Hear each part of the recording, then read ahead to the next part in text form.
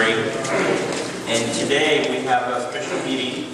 We have a few um, guests, including Mr. David Canepa. He being a big supportive of our efforts Hello. I already voted for He's going to give us a few updates on couple issues of housing and our efforts to establish a co-op here in the park. Um, We believe it's extremely important for all the residents to participate in this effort because everything that is being done here is to save your homes. So you guys can live here for a long, long time.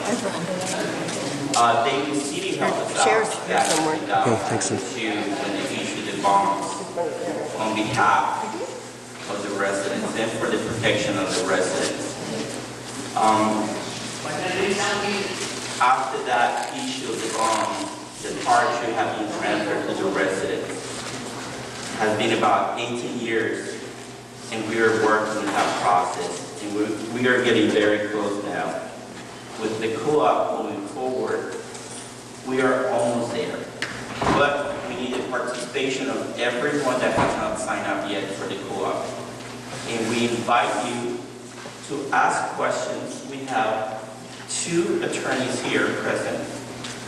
If you have specific questions, please ask the attorneys. They can give you the, a very accurate information as far as what's going on with the co-op.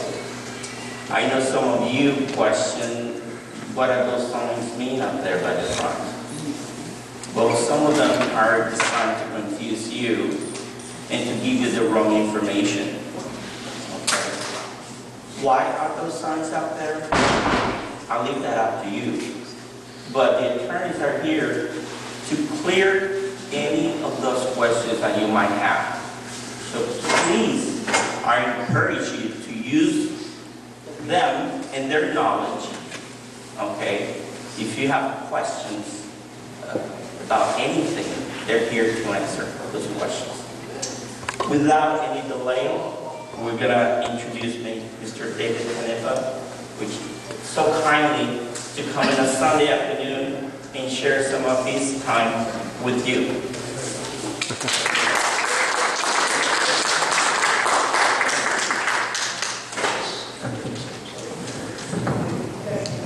Well, good afternoon. Um, It's a it's a pleasure to be here. I was asked to talk about a a couple issues, so I wanted to sort of explain uh, what we're doing around housing um, in San Mateo County. Uh, But let me just thank the leadership here um, for all the work um, that you do. You know, getting people on board, like you said, it's about providing uh, information that's transparent, um, information that's correct, and it's good that you have uh, lawyers, I saw Shelley here um, earlier, to really sort of explain what exactly is happening. I think that's important because there's a legal basis uh, for that. And so I want to talk to you a little bit about what's happening uh, in San Mateo County around housing and, and how you can help your neighbors um, immediately. So many of you know we just opened uh, by Holy Cross Cemetery across from Molloy's, a Veterans Village. And the Veterans Village um, serves about 66, 66 veterans and range from the spectrum uh, from those who uh, may be having um, issues um, uh, from PTSD and, and another, and other issues, and some just living, um, they all live independently, but there's actually the VA on site to provide various services. Uh, but one of the issues that they're having, and if you have a network of folks that can help, we've tried to help, is the issue of um, food. And so groceries, uh, if there are any organizations that you know um, that can provide direct meals um, to them, um, that would really be helpful. But the location is really ideal. The VA provides sort of a host of, of services, and uh, if you haven't gotten to meet your neighbors, they're really, really uh, lovely people. And so that's one of the things. Many of you know the other issue we continue to work on, and probably the most relevant issue, not to say that um, housing is not, because housing and health go together, uh, but it's really trying to make sure what we can do to save Seton Hospital. And so I hosted a town hall meeting uh, last week. We had about 250 uh, people who attended. And so that hospital, as you know, there was an identified buyer, and then that buyer wanted to buy four hospitals and ended up pulling out. And so the county continues to work. Um, As you know, we've given the hospital about $60 million, uh, $5 million left uh, for the seismic. Um, I had indicated um, in the San Francisco Chronicle last Sunday um, that the county um, should look at acquiring the hospital. So that is sort of out there. So we'll see how that materializes. To be quite frank with you, there's five board of supervisor uh, members. Um, The county right now faces in health because of the the federal government, um, state government, mostly federal government, um, a deficit of about $64 million. And so uh, one of the ideas being paired uh, is paring our workforce. So these are some of the things that we're dealing with. Health is not, um, it's not inexpensive, but at the same time, it's everyone has a right to health care.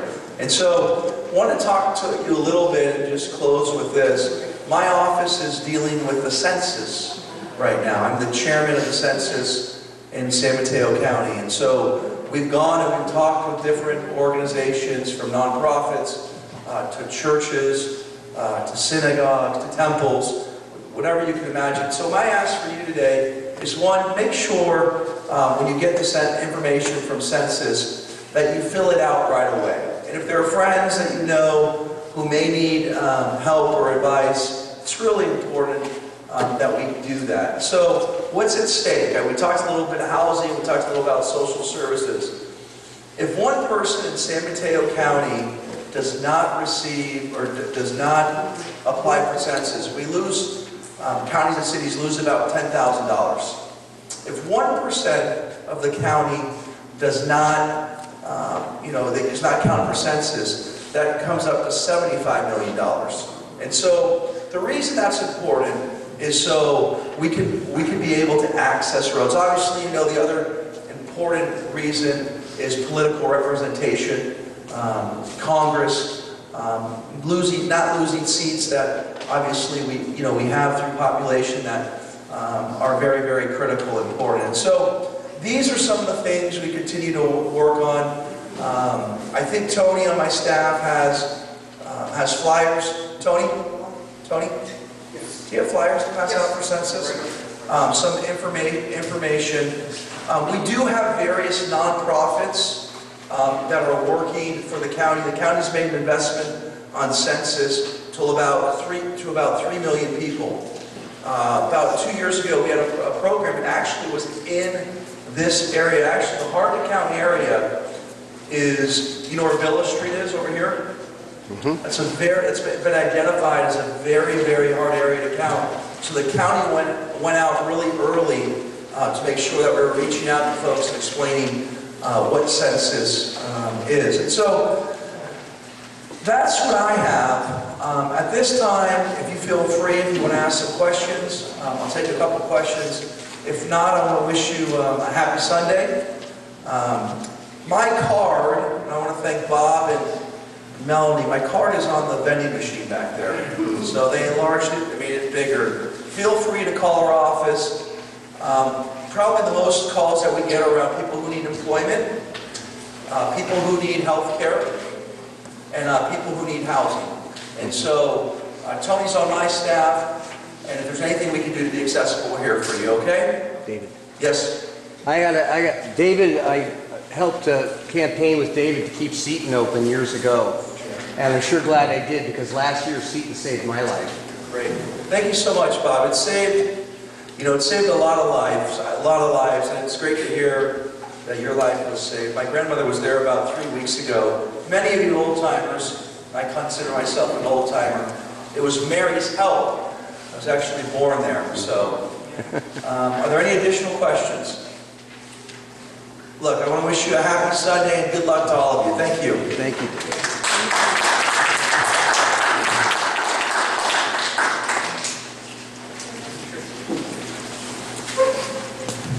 Thank you, Mr. Canepa. Your words are always encouraging to all of us. Um, Now, we have the next speaker. Um, Kim, I don't know if you're ready, um, or somebody else looking for you.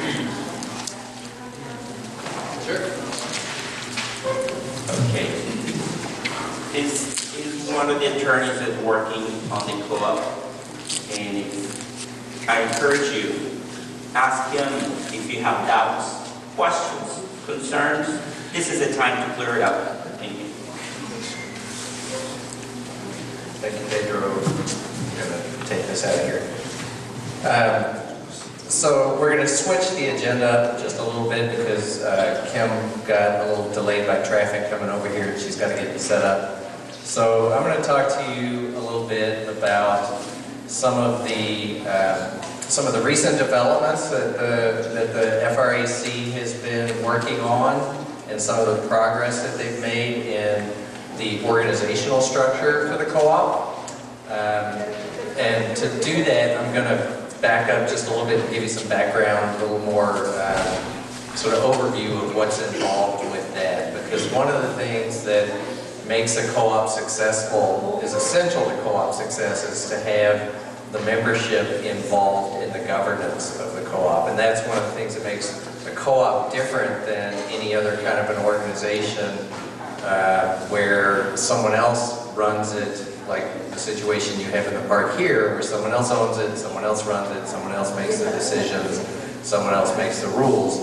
With the co-op, the members own it, the members run it, and the members make the decisions through the people that they elect to the board of directors. So I'm going to talk a little bit about what that looks like and what sort of progress the FRAC has made on that. And um, I just want to congratulate the, the co-op committee and all the volunteers who've been working hard since uh, the last time I came out to a resident meeting. There have been more signups. Um, We're getting closer to the number that we need in order to make the co-op uh, a, a reality. You know, it, it, from a legal perspective, and that's one of the things Supervisor Canepa was talking about was, uh, you know, we're, we're here, uh, I represent the, the, the Franciscan Resident Advisory Committee with my firm, Goldfarb and Lipman. And we do uh, work with co-ops at the formation stage, conversion, operation, governance.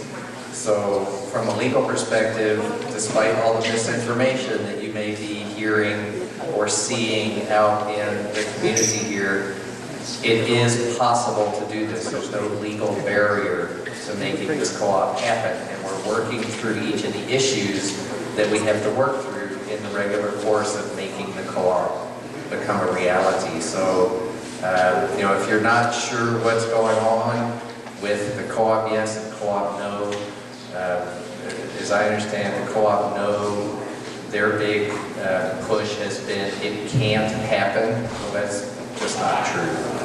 Uh, It's up to, it's up to the residents. The residents can make it happen. From a legal perspective, this is the kind of project that our firm has been involved in before.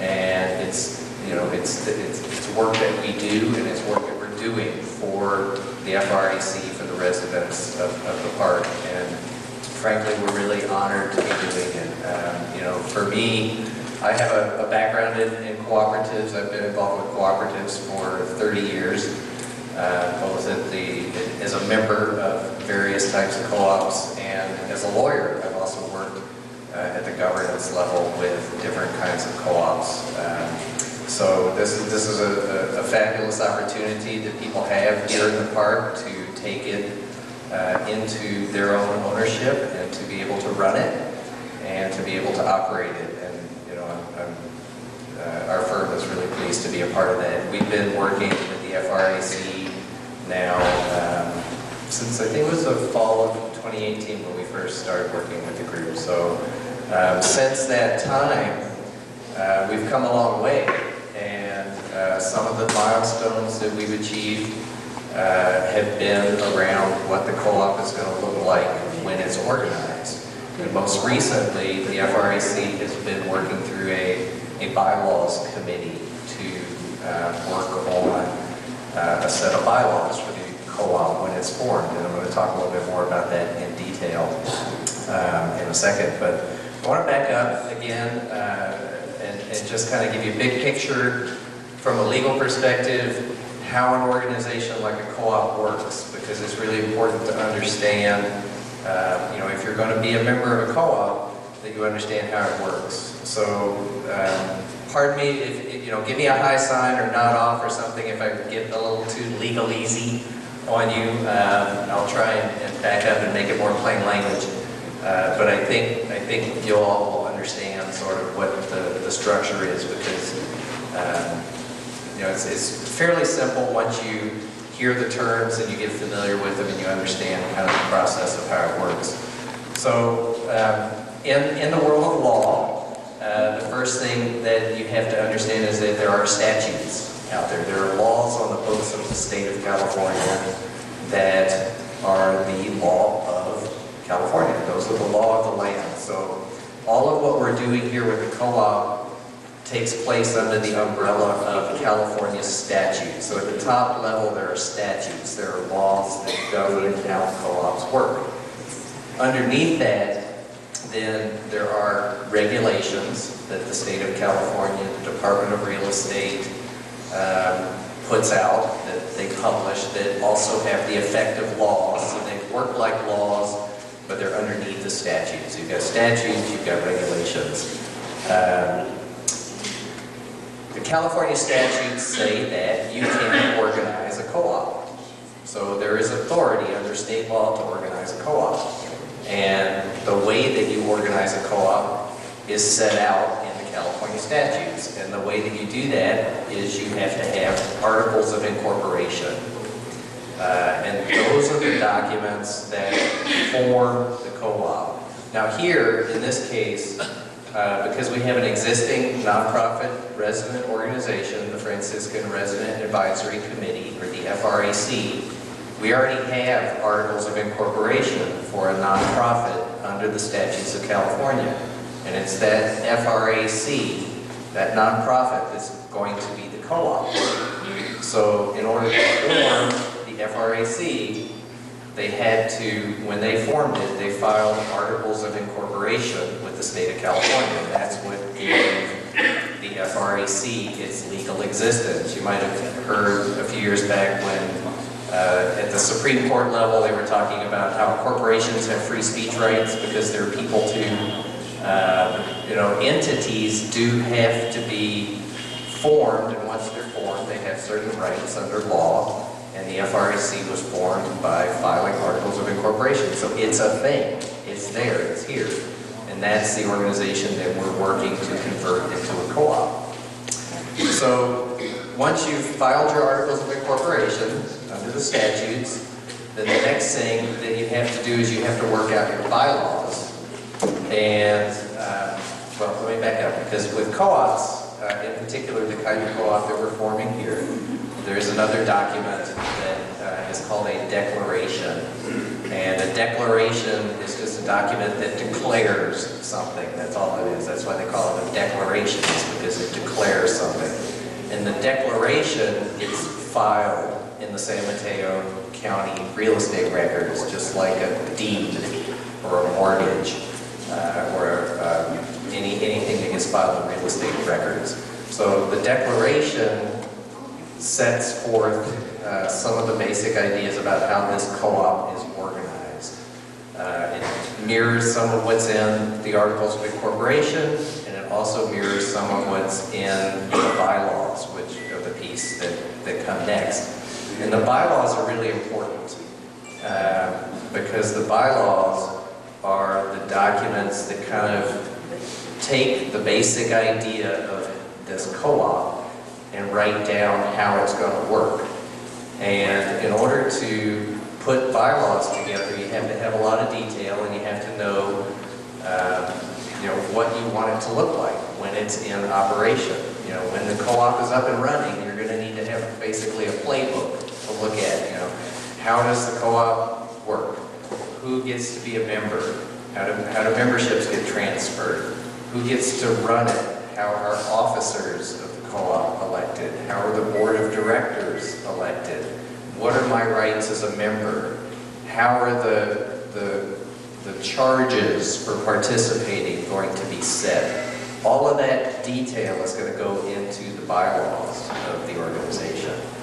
And one of the milestones that the FRAC has hit recently is they've got a set of bylaws that they've been working on. That they've been, that my firm prepared a draft so that the group would have uh, a basic set of bylaws that would be uh, compliant with state law so that they could take that basic set of bylaws and then say, how do we want this co-op to work? So the FRAC formed a bylaws committee and there've been a number of volunteers who've been putting their time into reviewing that and commenting on it. And so there's some back and forth because, you know, we have to have some dialogue about um, Okay, this is what the law requires, this is what you can do, this is where you've got some flexibility. So the bylaws committee has now um, given my firm their comments back on those bylaws, and we're going to have another conversation about, yes, we could do this, you know, maybe we could do that, you know, we have to go through these different comments and suggestions and tailor it both to how the co-op wants to run itself, and also how to make sure it's going to be uh, in compliance with the law. So um, the bylaws is a very important piece of this whole picture because that's what's going to run the co-op. That's what's going to govern the rights and the obligations of the members of the co-op. So uh, we've talked about it a little bit before at previous resident meetings. And if you're interested um, in learning a little bit more about the bylaws or the bylaws process, I do have a couple of handouts. Um, So you can either see me after the meeting, or I'll put put them back on the table back there.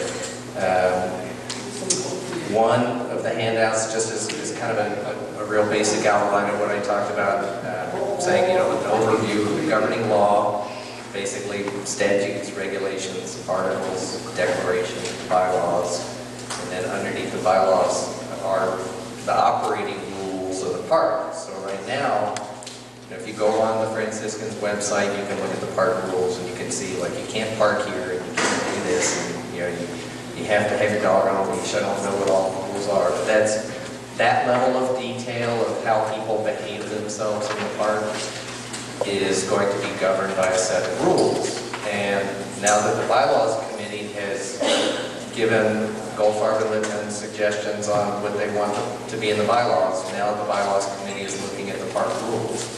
Um, So these are two very important pieces of this process, and there's significant progress that's been made on that so far. So it's, I I think, you know, kudos to volunteers who've been working on that. Um, It's a lot of work, and, you know, you really have to think about, you know, the needs of everybody in the park. You know, this is not a process where one person gets to decide what's best for them.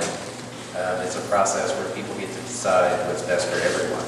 And in the bylaws also is a framework for how to resolve conflict as well. So, you know, conflict happens. That's inevitable. And, you know, when you live with other human beings in a community, you're going to have conflict. And we know this, uh, both from, you know, our own personal experience and from looking around. And so in the governing documents of the co-op, there's going to be a process for dispute resolution. And I, I'm looking over at Kim, I apologize if I'm covering anything that you're going to be talking about. I'm not sure. Um, So, you know, with some of this stuff, um, it's good even to hear repeated times. So, you know, once you get more familiar with the terminology and the structure, it starts to make more sense. I think then you can feel more comfortable engaging in the process, which is really critical to the success of, of, of a co-op. Um, So let me stop there for just a minute and see if anybody has questions about bylaws. Yeah. Jeff, can you make a distinction between the board of directors and the officers officers and representatives? Okay, yeah, good, good question. So the question is, what's the difference between officers and directors uh, of the co-op? So uh, a cooperative is governed by a board of directors, and the board of directors is elected by the members. So once the board has been elected, uh, and and here I think the option that uh, the the bylaws committee is recommending is a a seven-member board, so there'll be seven people on the board, which I think is a good number, because you get en- enough people that you've got some diversity of opinions and um, people to do the lifting of the work of the board, but it's not too big to make it unworkable. Um, You know, you can still actually schedule a meeting where everyone can attend, uh, which is important. So that the board is elected by the members, and once the board is elected, the board then has to select among itself who is going to be the president of the board, who is going to be the secretary of the board, and who is going to be the treasurer of the board. And so the bylaws set forth for the directors what that process looks like. How are the officers selected, how long they get to serve, um, what are the, the responsibilities, but basically the, the president of the board, these three different officers that are pretty typical, and, and you can create other kinds if you think it's appropriate. So these three officers, the president, the secretary, and the treasurer, the president basically is the chair. So they, they're responsible for making sure that the meetings happen and that everybody participates and that the business of the, of the co-op gets done. And all the, all the directors have that responsibility, as do the members. But the president, you know, it's really their responsibility for making sure that everybody focuses and stays on task and, and that the business does happen. The secretary is responsible for record keeping, so all of the minutes of the board, all of the official actions of the co-op, the historical record, um, that's what the secretary is responsible for. Um, And a lot of times in a larger organization, those responsibilities can be delegated out to uh, staff, like for example, a management company oftentimes performs a lot of the duties that the secretary is responsible for, but the secretary needs to make sure that the management company is doing its job. Um, The last officer is the treasurer, same sort of a thing. The treasurer is responsible for the financial health of the co-op. Well, not for the health itself, but for the financial governance of the co-op and making sure that the the financial reports are done, that they're done properly, that they're done timely, that they're available to the membership when they're supposed to be available. Um, And so, again, like with the secretary, that is oftentimes something that the treasurer board delegates to the management company who is responsible for all the financial stuff. But- So, big picture, you've got the members, the members elect a board to govern the co-op, and the board selects officers who run the board. And how long is the term, Jim? Yeah, I'm concerned about that. That, that's flexible. So the terms, how, how long are the terms of the board and the officers? Because those are, those can be two different things. Um, The co-op does have some flexibility, but it's typical to have a two-year term or a three-year term for a board member. There could be a learning curve in working on a board, and so you want to make sure that people have enough time to figure out how things actually operate. But you don't want it to be too long because you need turnover in that. You know, you need fresh ideas, you need to not burn out your, your volunteers. Uh, So two to three years is pretty typical for a board member. Um, And for an officer, typically those are selected each year at the board, at the time of the board election. So that way you get some, um, you know, turnover there too. And you can't, you don't always know who's going to be on the board. And elections happen every year. And typically you stagger the terms for your board members so that you always have some people who've been on the board for a little while and some new members so that you don't get caught in a situation where the whole board is suddenly new and nobody knows what's going on. Jeff, I have a question. Yes? Um, For the people that don't sign up for the co-op and they remain a renter, are they going to have any say terms of how the park is going to be run? So the, the question is, for those people who don't join as members of the co-op and who just remain as a renter, so um, what rights do they have in terms of the governance of the organization? Are they going to be able to have a say in what happens in the park? Um, From a legal perspective, they don't have any right to participate in the governance of the organization. Uh, Now, you can have policies that, you know, obviously you don't want to ignore a good idea. And so if there's a renter that comes to you and says, hey, I have this idea for a way to make the park great, and this is all you have to do, you know, you don't, you're not obligated to ignore that. Uh, But that's one of the main differences between being a member of the co-op and being, remaining a renter, is that if you're a member of the co-op, you get the vote, a renter does not. You get a say, a legal say in how the organization is run. You can yourself run for the board of directors, you can be a director, you can be an officer. Uh, A renter cannot. Um, Does that answer your question? Any other questions, either about bylaws generally or, or sort of the, the legal structure of how this is going to work? Can we exclude uh, non-members from any of the meetings, or is it advisable to always have a proposal to non-members? So the, question is, can we exclude non-members from, uh, member meetings? Uh, it, it's up to the co-op to decide whether want to, but I, I think that's fairly typical, is that it's the members who are the ones who have that right. The members are the ones that get to go to the meetings, the members get to vote, uh, the renters do not, they're just, just renters. Shelley? Can you um, discuss the difference between uh, changing the bylaws versus changing the park rules? Sure. So the, the question is, uh, you know, what's the difference between changing the bylaws and changing the park rules? So, uh, the park rules are, you know, once they're agreed upon, they will be, or once, the once the, the way it is right now, because the co-op is in its formation stage, uh, it can't really adopt the rules yet. Um, But the bylaws committee is putting the rules together. So when the co-op is formed, the rules will be put out to the residents, to the members, I'm sorry, the members, and the members will have an opportunity to comment on those rules.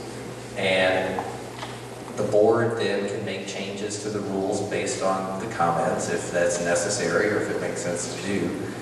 And then after that comment and review period is over, the board then votes to adopt or reject even the rules.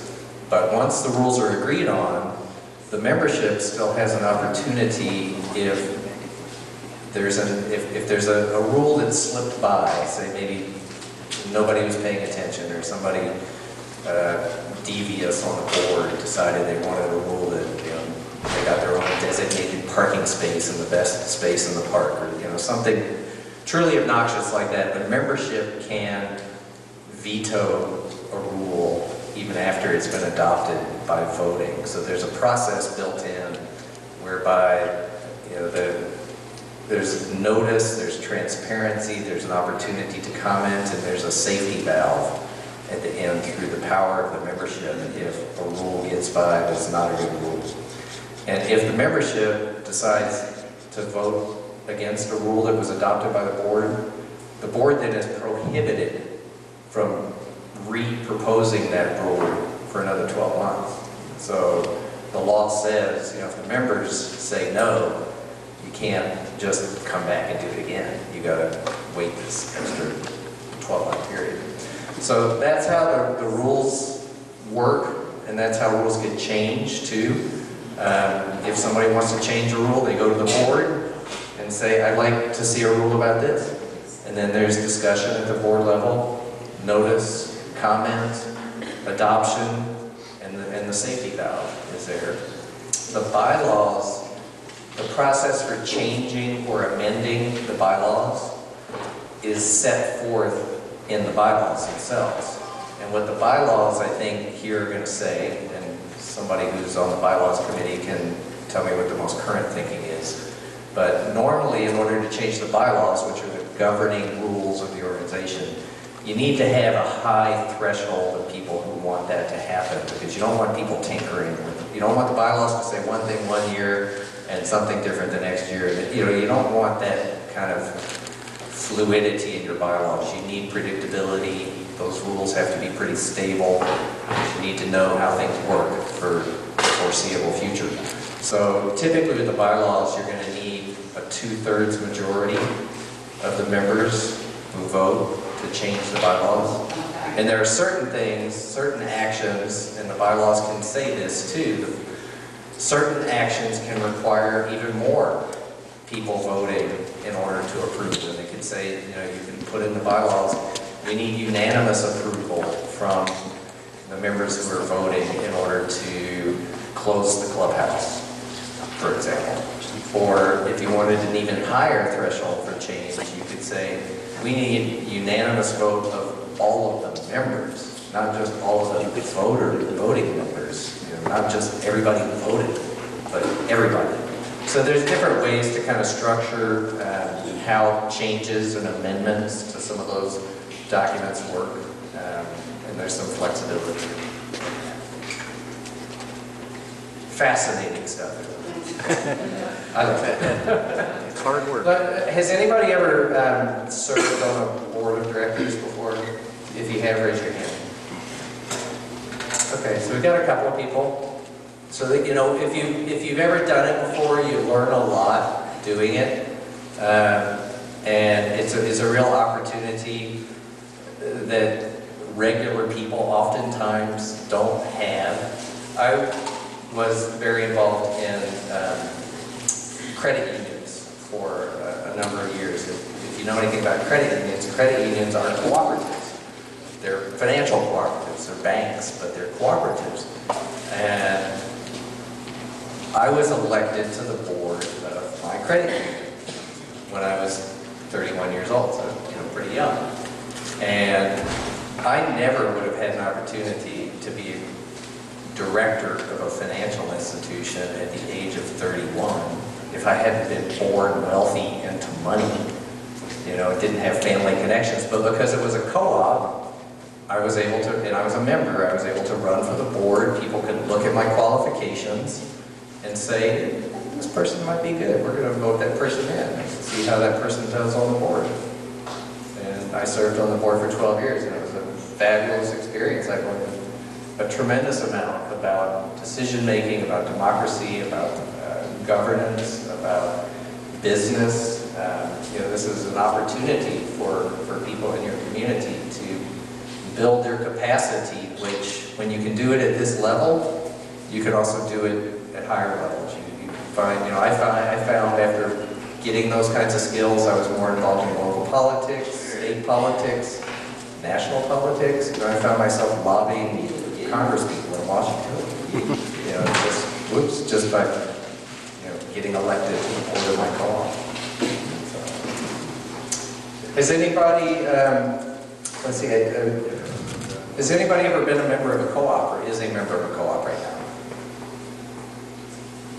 Are you, do you bank at a credit union? You have a credit union? So you are a member of a co-op. Anybody ever shop at REI? REI is a co-op. So there, there are a lot of, you know, there's, there's a lot of co-ops out there in the world that maybe you've come across or participated in and you weren't even aware of. Any other questions? Take a look. So, Howard, Excuse me, um, I'm sorry to interrupt, but somebody left their phone on the table, and someone's been trying to call, and they won't give their name, and it's sort of an urgent thing. Does anyone recognize this? They, they- that phone, it wasn't from here, they found it somewhere up the street. Oh, it was on the table. Oh, Yeah. I didn't know that, I apologize, I thought it was someone in here. Okay, it might be Supervisor Canepa. God, I hope not. Sorry. We don't want his phone calls. So the, the, uh, let me just, the last couple of things that Shelley asked me to talk about were um, just sort of where we were in terms of forming um, the co-op. And I I mentioned that we've got the bylaws working, the rules are in progress. Um, Karen, my partner at Goldfarb Lipman and I, Karen's not here, um, her mother is celebrating her 90th birthday today, so I guess Oh, wow. we'll give her a pass today. Um, But Karen and I are working with the lender, with the National Co-op Bank, to sort of fix what the approval process looks like so that we can get started on the due diligence that has to take place for the loan to be made. So that, you know, that communication, that interaction is happening. And we are also working closely with um, Shelley and the other volunteers to um, map out how the other state law requirements, county requirements, and the city requirements are going to be met. Um, Again, Goldfarb Lipman uh, has done this sort of thing before, and we are um, happy to be doing it again and happy to be doing it uh, with the FRAC, and we wish you the the best of luck. Talk to your neighbors, tell them about the co-op. It can happen if people want it to happen. So, uh, thank you.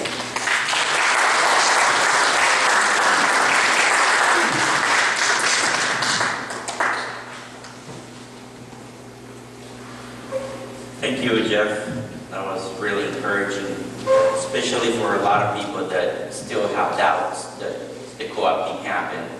I'm glad you can hear from someone that doesn't live in the park, um, especially someone that knows the law. Because this process, these entities requires people like Jeff that can do it legally, and legally, our co-op can move forward it is very important that all of you that are here can spread the message to the rest of the community that this is a legal process that we can do. There is no an impediment to this legal process, even though some people might say otherwise. We don't see any of their attorneys up here telling you that that cannot happen.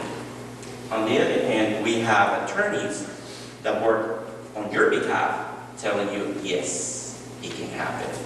So one of the objectives today is for you to spread the message to the rest of the community that yes, you heard it from attorneys that the co-op can really move forward. And we are actually getting close. Um, Jeff is in conversations with the bank and the bank um, might move forward very soon. We have the legal path covered with Shelley to complete this process. The next step is some of you have to sign those documents. And remember, we have a new program now in which no money is required. You have to put no money down. If we don't close the deal on the co-op, all you do is waste a signature on a piece of paper. If we actually close the deal and deliver the ownership of the park to you, then pay your membership and you pay as you want. There is no limits in terms of how much money you can pay into your membership. If you want to pay a dollar a month, it's up to you. We don't have a legal requirement in the membership that requires you to pay a certain amount. So it is up to you to decide what that amount would be. It is unheard of that a community like us can take the ownership of the park by signing a piece of document. And I'm sure Jeff, with his experience, can tell you that this is a very, very unique opportunity that we have at the park. And it has been the work of Shelley for over 10 years to create this path for you. Shelley doesn't live here. But she's been working very, very hard to protect your homes. The fact that your home is still here, especially in the Bay Area with this environment, is a proof that things can be done. And she has worked tirelessly, even on Sundays, to protect your home. She does it every single day. And I think you need to realize that, that her legal work is protecting your home as we speak. There are many, many mobile home parks around the Bay Area that are closing down. If you don't believe me, Google it. Google it. How many mobile home parks are closing down? It is an alarming rate. And we have the opportunity to take the complete ownership of the park by signing a membership that requires no money down. So the job for you guys is to spread the message. And Kim will tell us the benefits of the co-op.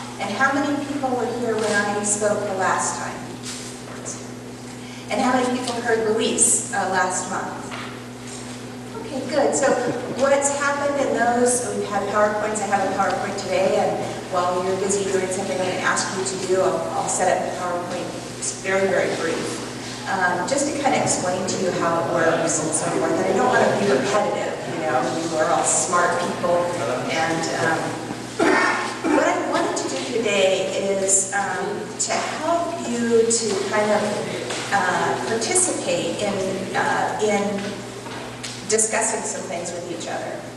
So there are lots of different ways of making decisions in a co-op, and we use different decisions for different things. Uh, Sometimes we just have discussions about things.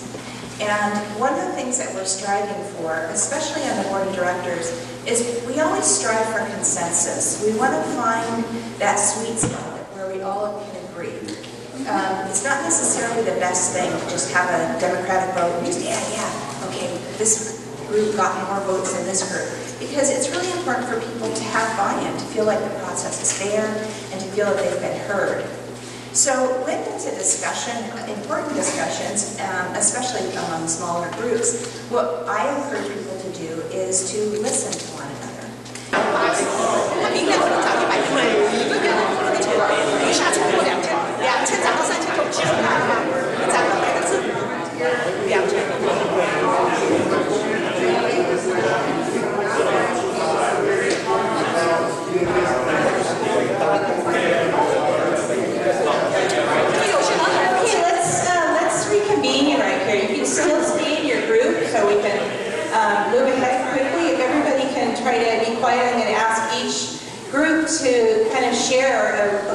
Report back. So let's start with our tiniest group over here. Um, were there any, um, any questions that emerged or some, um, some things that were unclear that came up in your group?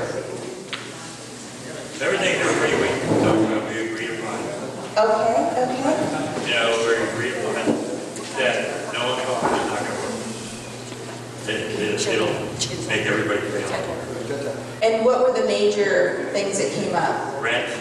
So, um, okay.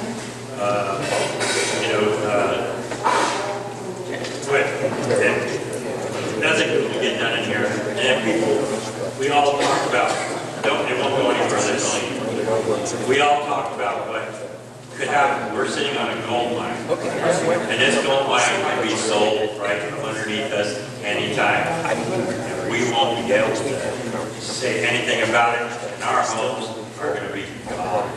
Okay, so that, this group was pretty, um, didn't have any big questions, but the biggest concern is that this is a, a great piece of property, and without a co-op, you won't really know whether you can actually keep it or not. Yeah, and sold. we talked So- about all the parks that are closing. Okay, okay. And get redeveloped. Good, just a lot of uncertainty. Yeah, it's- All right, and so this group right here, I know that you, you need to be doing some um, interpreting here, but um, were there questions or things that were unclear that came up in this group? Bilingual. I can.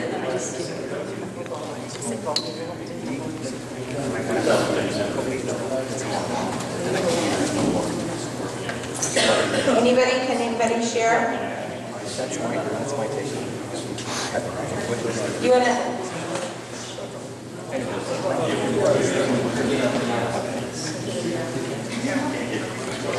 Can you share anything that came up?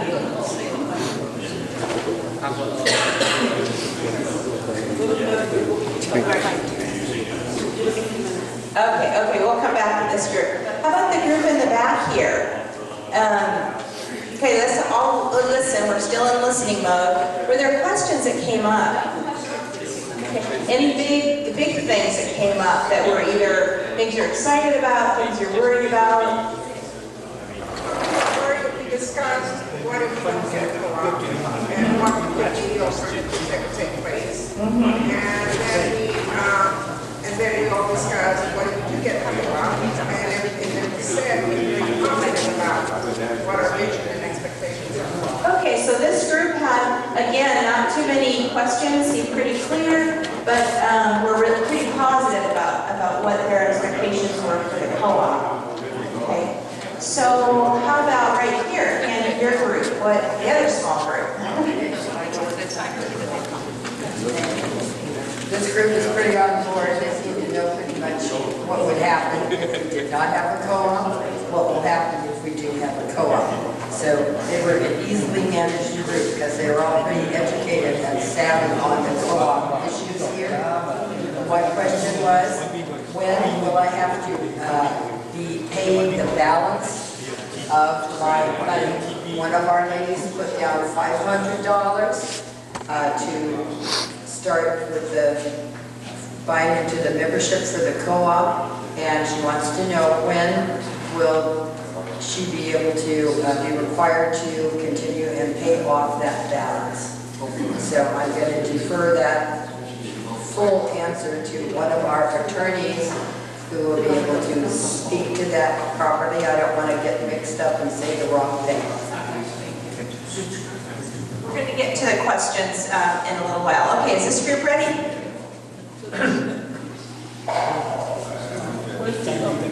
So just some concerns about misunderstanding better than one. Okay, and what, the misunderstanding about when the balance of the money? Maybe the questions answered. We're trying to find one person other than. Okay. Then click on this. So we just click one more time. We select. Okay, all right, we'll go to this group over here. Yeah, our group was um, uh, kind of divided. Um, Some don't really understand all the benefits of the co-op and what would happen if it doesn't go co-op. And if it goes to other entity, if there was a reassessment of the land, and how would that affect them? Um, But we're, we're in a discussion of um, most of the group is already in the co-op, um, but there were some questions about the benefits of the co-op and why we help them. Um, So if the reassessment, was that if it is a co-op or if it isn't a co-op? Yeah, well, if, if there's a reassessment value of the land, uh, if there's co-op versus no co-op. When was the, uh, the land going to be reassessed? Property tax. Yeah. Hopefully never. All right, um, so this group, So there's here about the same thing, about prices increasing with, with assessments. And I'm trying to find our official translation so I think we've heard from each group. What I want to do right now is just kind of go back to a couple of slides that kind of cover some of the major um, aspects of co-op. And then we'll also get, uh, if there's a quick answer to these questions, Jeff, do you have ans- uh, answers to these you want to come up and just share?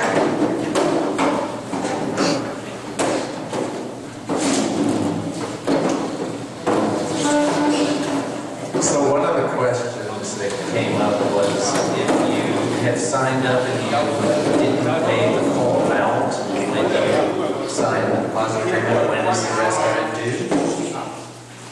Hi, thank you.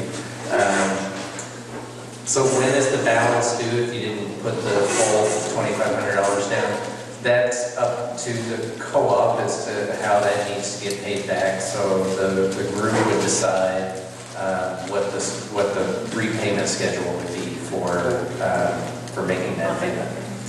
Uh, If, what if there's a land reassessment? So I, I think, if I'm understanding that question correctly, it's when is the land going, would it be reassessed? I think the question was, uh, if, if the uh, of the goes to the co-op, is going to be a re- reassessment of the land? Or if it goes to a different entity, where, where is that reassessment happening? Okay, so, um, if the land goes to the co-op, will there be a reassessment? And the answer to that is no. That's one of the benefits to, to forming a co-op is that you then would qualify for an exception from reassessment on transfer. So, uh, if the land transfers to any other entity, nonprofit or otherwise, if it's not a co-op, it doesn't meet the exceptions, doesn't meet the requirements for the exception that we're trying to do for the FRAC, then the land would be reassessed on the property tax. Okay, I'm just going to wrap this up just 'cause- with a summary of what we've done in the past. I know it's a Sunday afternoon, people want to get home, and then after I finish, I'd just like you to, um, Shelley just has a few things that she can um, share with you, so I want to not keep you too long. So um, just uh, the over, some overview things about um, a co-op. One is that how does a co-op compare to other forms of housing? Basically, um, uh, condominium, which uh, is uh, one option that people can go to. But in a, in a condominium, each person owns their own land. That's not really possible here. So, um, but if you're comparing it, in a housing co-op, um, all of the people together would own all of this land, and you would each own your individual or rent your individual uh, manufactured home. In a rental, um, you don't own anything. So that's the biggest difference is if we look at a piece of pie, um, you get none of the pie if you are not a co-op. Um, so some of the things that are just kind of a summary of a difference between a co-op and, and not having a co-op is a co-op is operating at cost. So the purpose of the co-op is not to make money, it's to provide housing to the members at the lowest price possible. That's, that's the whole. Um, it gives people a direct voice in what happens with their community. Um, there's a strong incentive for people to invest in a property. If you own it, you're much more likely to feel like it's yours. You're much more likely to take care of things. So that's what the research shows anyway. Um, there's a potential for your, even though this is um, slated to be a limited equity housing co-op, there is a chance for some equity accumulation. So you, you could sell your, your unit and, um, and get um, some, a profit from it, um, but it would be limited. And um, you don't have a risk of displacement because it, especially for a limited equity housing co-op, you cannot sell this. If you decide, if, the, if somebody decided it would be really cool to sell this property, you would have to sell it to a nonprofit. So the limited equity model is pretty clear on, on uh, security.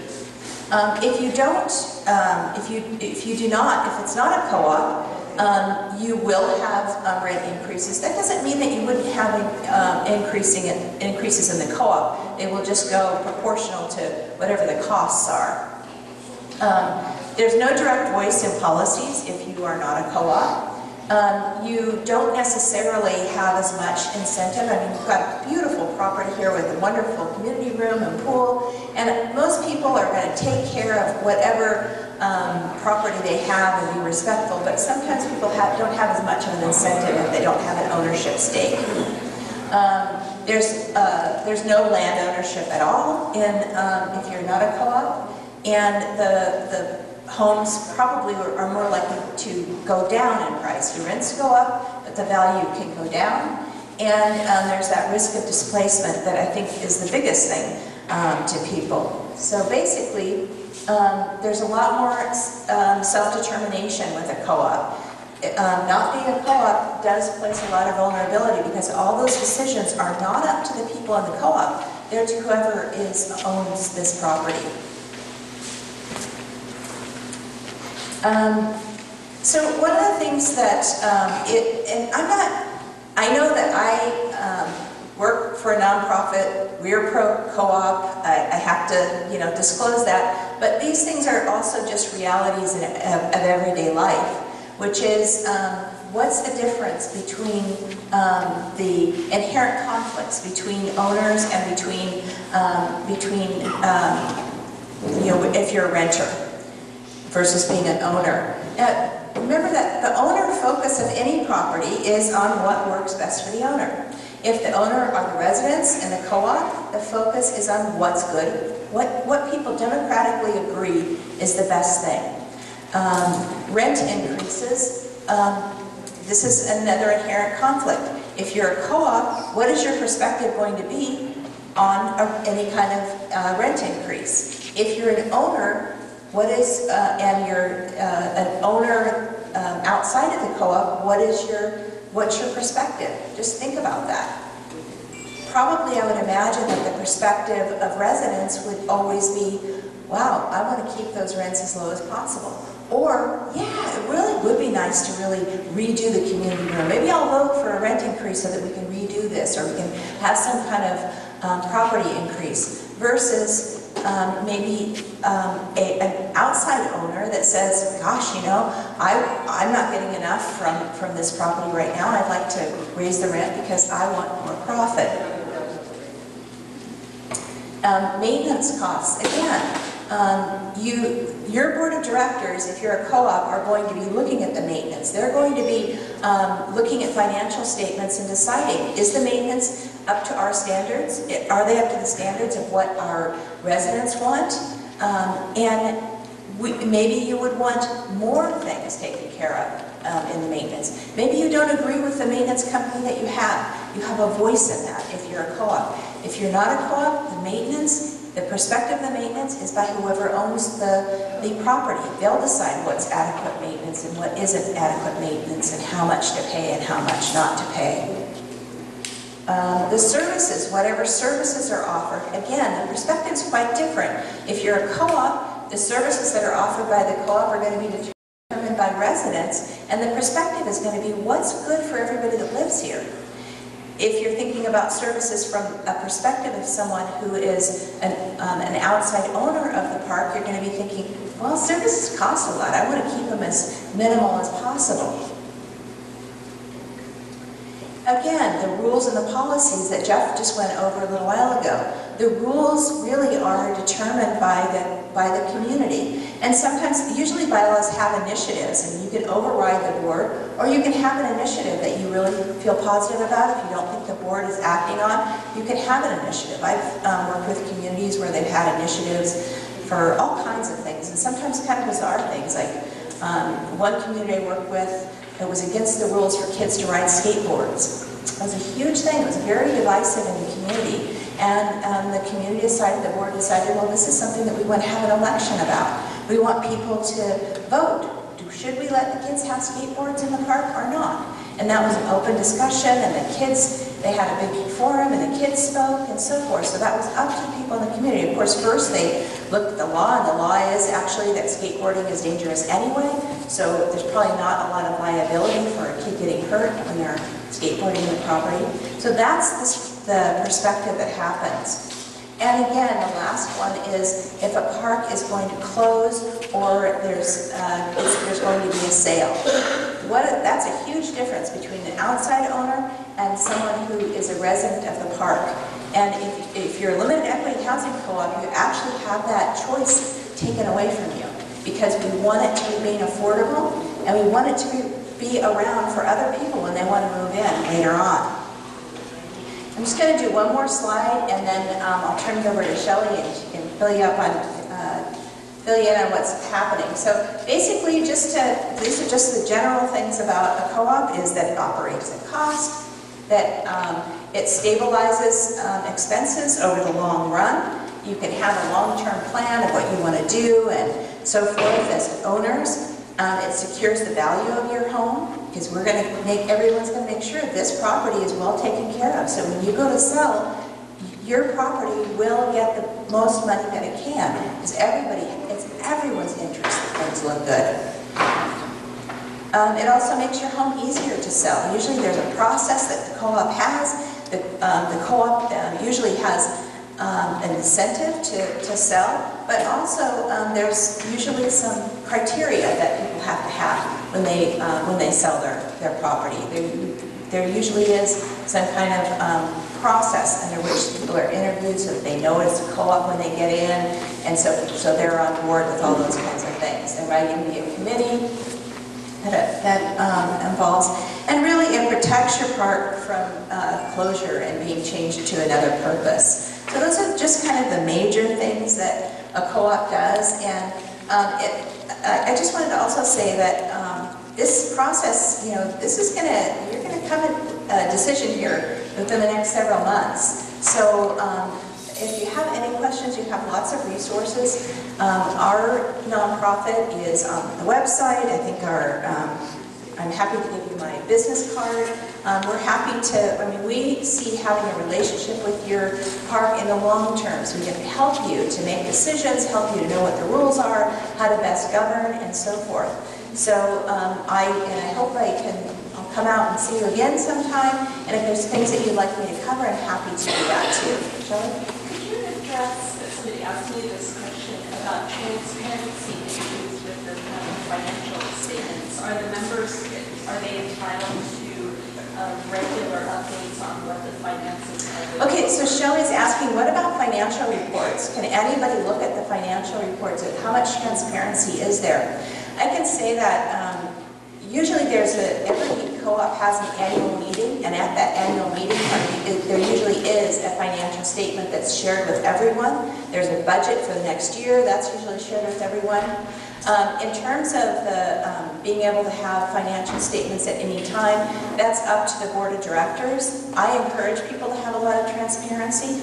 Um, Financial statements are, should be given monthly to the board of directors. The board of directors should cover those. It's usually a good idea to have open meetings. People can come to board meetings, but they are listening at board meetings. Usually board meetings have a time for member comment, and then the board has to do their business. And so um, they, usually after the member comment, the board meeting will, will take place, and people, uh, members are usually very welcome to listen in on those meetings. And that would include uh, looking at those financial statements. So um, usually there's a lot of transparency. I have a question.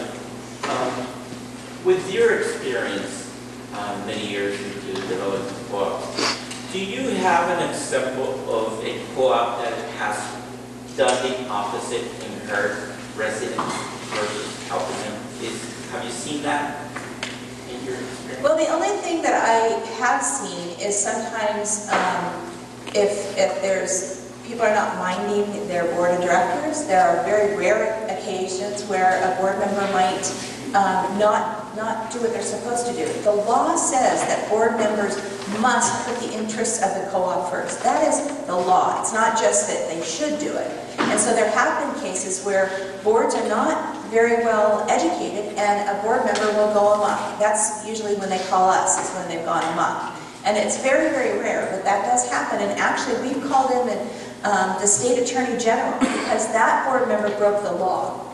So there are lots of ways that you can enforce when you, when you have that. The important thing is for people to vote and people to pay attention and people come to meetings. and so forth in a, in a co-op. Because that's the way you get what you want from your community, is by being active. Any other questions? Oh, thank you. Shelley, you want to give a little update on what's happening?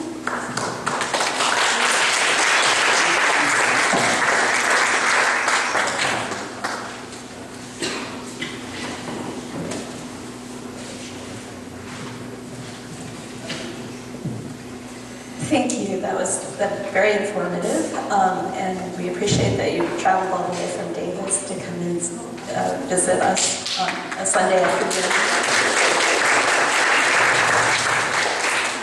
So basically, uh, I just would like to uh, expand upon what Jeff had, had mentioned earlier this afternoon, is that yes, we can. We can become a co-op, you can become a co-op. Um, The signs are out there, but the signs are wrong. We're 10 years into this process of becoming, actually, it's longer than that because the prior boards from the 90s tried to set up a resident-owned park. Um, They brought in a nonprofit housing sponsor, and there was a bond issue, and you all know the history. Um, So right now, we're at, you're at a crossroads. Uh, There's a transfer that's going to have to happen. It'll either be to FHC or to FRAC. If it transfers to FRAC, as you know, you can become a resident-owned park. 100% of the board positions will be residents. There won't be any outsiders making decisions for you. So nothing has changed from that perspective. We did have to go to court to get an extension of time in order to keep this opportunity available, and we were successful with that. Link Housing is, is cooperating with us. So all we need, um, as Pedro mentioned, go out and engage with your neighbors and really explain to them how truly, truly important this is for you if you want to maintain your park as the way it is and to uh, develop it into a thriving uh, community that is not going to be subject to massive upheaval from rent increases, from having the property taxes reassessed upon transfer, or from having a new board that's not controlled by residents, making decisions that perhaps, you know, mixed income housing developments might be nicer than a mobile home park. We don't know what they're thinking. We don't know what, who is funding the no co-op signs out there, what influences are behind that uh, no on co-op um, uh, noise. But it's not good for the community if you want to remain a mobile home park that's affordable. So for instance, uh, a friend of mine told me last week that they heard that Santa Rosa Park was closing last week. I, I don't know the name of the park, but Google it, I'm sure it's true. And on the 14th, on Valentine's Day, there was an article in the San Jose Mercury News about a Redwood City mobile home park closing. So this is the wave of the future. These mobile home parks are sitting on prime land, which you all know. You've got beautiful views of the, the ocean, depending on where your space is. And developers are looking for land in order to develop. The best way for you to control your future as a mobile home park is to take the bull by the horns, sign up for the co-op. There's power in numbers. We can uh, finesse the loan, get it closed with NCB, issue the membership interest, and the next issues will be what color you want to paint the clubhouse. So make the step, educate your neighbors, go out, meet them. If you don't know them, go knock on their door and explain to them how crucial it is for us to get the final push done so we get sufficient participation that NCB says, yes, you're really impressive, you've formed this co-op, and we want to loan you millions of dollars. So it's your job, I'm passing wand over to you to, to do your part to make sure that all of your neighbors are fully informed. and part of the governance of this place is those clipboards back there for those committees. Please sign up and get involved. Shelley, um, I have heard from a lot of people, a lot of residents, that they get confused, not just, get confused by these no sign.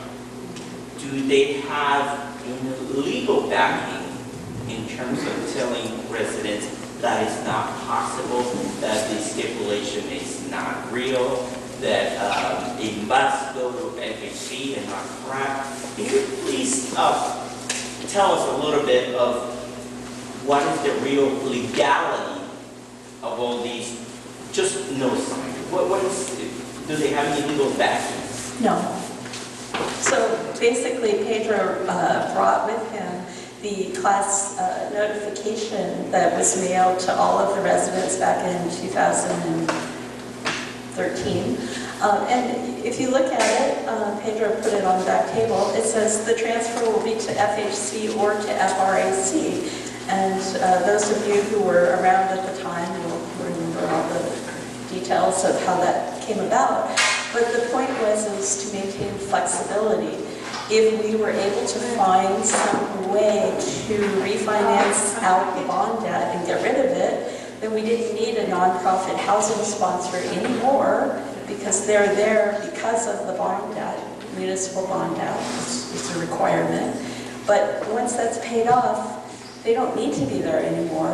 And you, if you choose to become a 100% resident-owned park with all of the board positions filled by residents who live here and care about this place, and care about rent levels, and care about maintaining the value of your home, and care about paving the streets, and care about all of the issues that I've heard about endlessly for the past 10 years, cutting live trees, the potholes, the sewer system, the water tank lining, et cetera, et cetera, et cetera.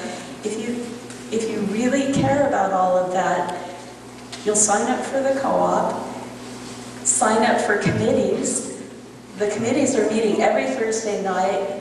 They're really a lot of fun. I I mean, you know, reading bylaws, if that's fun, but, but it it is fun. You get to talk to your neighbors and talk about uh, issues, the rules. Um, There's new committees forming on the um, uh, property maintenance committee is going to be, to start meeting on Thursday. And uh, it's a fabulous opportunity for you to get involved, and instead of just being able to complain about what other people are doing to you, this is a chance for you to be able to make change for yourselves. It's, it's phenomenal, it's very powerful. Um, the court order said that it was going to either go to FHC or FRAC. We haven't heard anything about FHC. When was the last time that FHC even had a meeting? The last meeting of the FHC, I believe, was in October or November of 2017. Um, And, you know, I sat in on uh, a number of FHC meetings uh, when it, when it was meeting. It was an advisory committee at at that point. But the problem with the FHC meetings is that three of the board members are from Link Housing, and one of the board members is from Daly City, and then there's three members of representing the residents. So the residents are in the minority. So the residents might have an opinion about towing or parking or tree cutting, but if the Daly City representative sides with Link Housing, there's, you, you can't win that vote. If it transfers to FRAC and there's a vote about tree trimming or parking or anything else, the residents, it's going to be a consensus of resident opinion that's going to make the decision. And, and that's huge. So you can't understate that. Shelley, what was the percentage of the time that the city rep on the board voted with Link? I don't remember a single time where the Daly City rep voted for the residents. Thank you. Never, Not a single time. Mhm. Once, And and many of you attended those meetings too, so you know, you know what I'm talking about. So, uh, you know, I, I can't say it enough. I mean, if this park was owned by a, uh, a for-profit corporation, you can be pretty sure that your rents would be inching up to $2,300 a month, like the mobile home park in uh, San Jose that uh, was transferred a couple times through a big corporate entity uh, because mobile home parks unfortunately are, you know, now valued as, you know, prime investments for corporate uh, REITs and, I don't know, hedge funds or whatever. But the market rate in San Jose is 2,300 a month. So if you want to maintain your affordability here, the best way for you to go is to go co-op, and that's FRAC. Any other questions?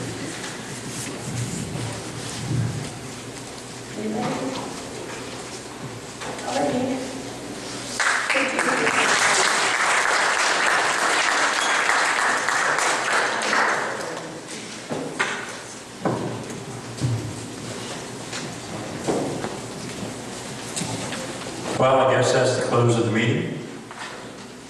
Glad you all showed up. And thank you for coming. And support the co-op, please. And tell your neighbors and friends. There.